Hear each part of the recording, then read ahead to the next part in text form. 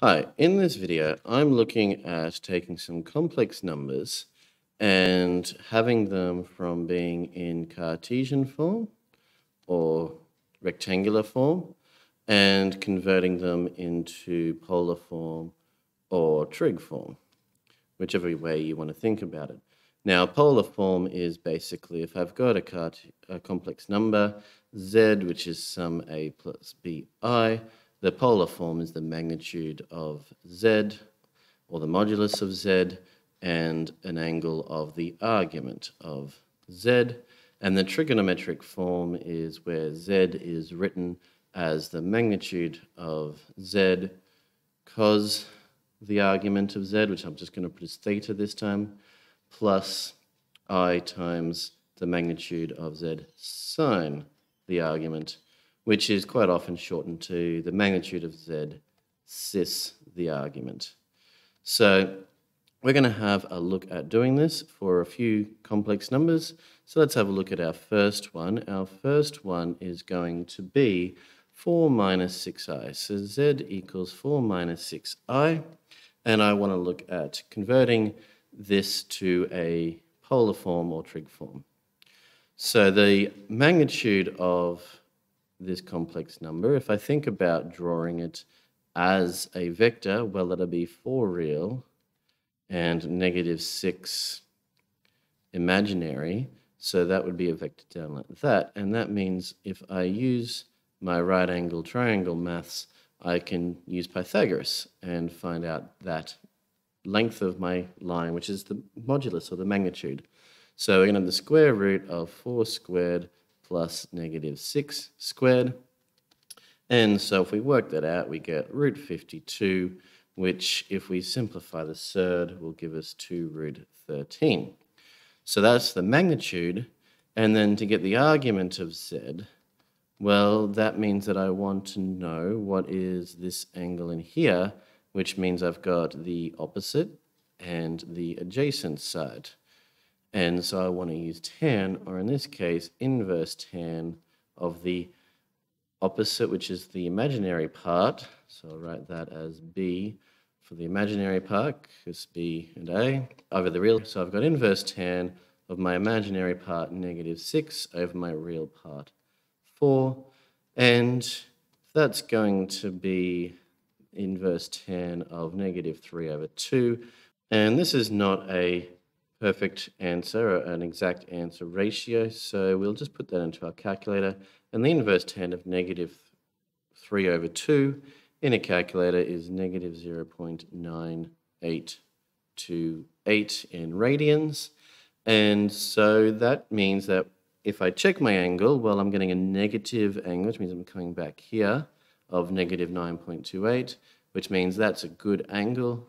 We have to check our tan angles because sometimes, especially if we're in quadrant 2 or quadrant 3, we have to check our angles from tan to make sure they're correct. But this one is fine. So that means I can write my complex number in polar form.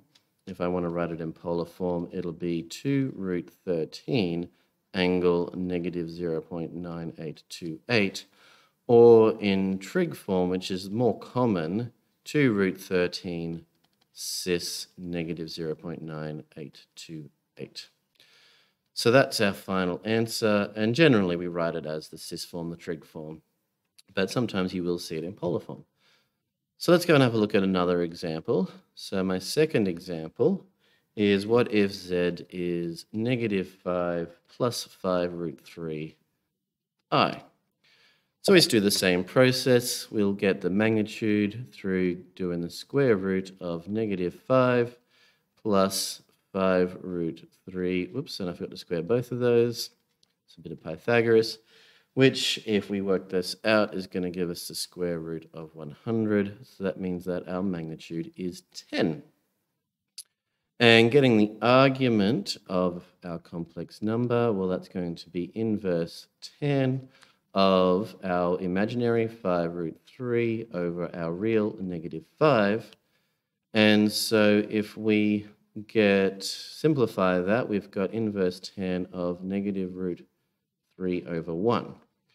And this should be an exact value question. So let's draw a quick triangle of our uh, pi on 6, pi on 3, 1 to root 3.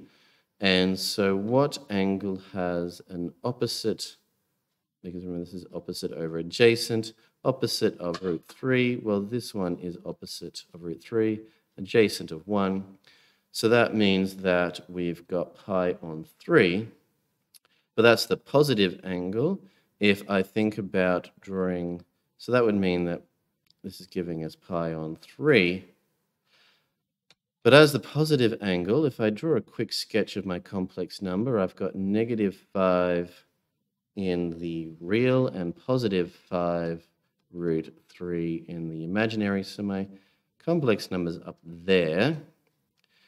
And tan at the moment, this pi on 3 would be this angle, but I've got negative pi on 3, which means I'm actually down here. So tan is giving me this pi on 3 here, because this negative means that I'm down here, negative pi on 3.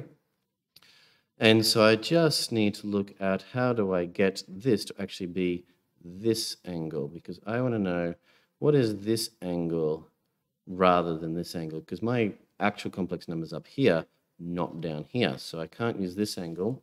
Well, of course, that means that I'm going to have to have pi on 3 and add on a pi because I'm pi away from where I need to be. So if I do that, pi on 3 add on a pi, whoops, sorry, I'm negative pi on 3 add on a pi because we had a negative angle. This is a negative angle. So negative pi on 3 plus a pi would be 2 pi on 3. So that's given us the argument of z. So then writing that in, let's just go straight to the trig form. That's going to be 10 cis 2 pi on 3 as our final answer. Let's have a look at another example. So let's have a bit of a move down here. And let's have a look at my third one, which is going to be, what if I have z equals negative 8, take 5i. Well, doing the same thing, magnitude of z is going to be the square root of negative 8 squared plus negative 5 squared. Putting that into our calculator, we get, uh, we get root 89. And that doesn't simplify as a surd, so we'll just leave our magnitude as that. Having a look at the argument, argument of z is going to be the inverse tan of our real negative 5 over, sorry, our imaginary negative 5 over our real, which is going to give us uh, the inverse tan of 5 over 8. And putting that into our calculator, we will get 0.5585 radians. Now we've got to do a quick check though, make sure this is the correct angle. So if we draw our complex number, I've got negative 8 real, negative 5 imaginary. So my complex number is down here.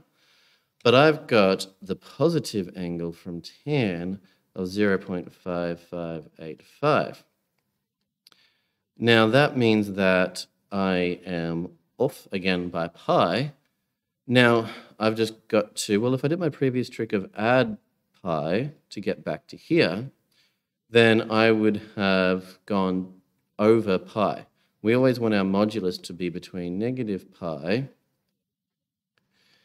and pi, positively equal to pi, or less than negative pi, or greater than negative pi, I should say. So if I cross over, if I go this way, I'm going to get more than pi, because this is an angle of pi to here. Pi plus another 0.55 radians is going to be bigger than pi. So I actually want to go this way. I want to subtract off pi to be able to get to where we want. So I'm going to minus off pi and get an argument of negative 2.58. And so that means our complex number z is going to be root 89 cis negative 2.58. And my final question is what if we got the complex number z equals negative root 3 plus i?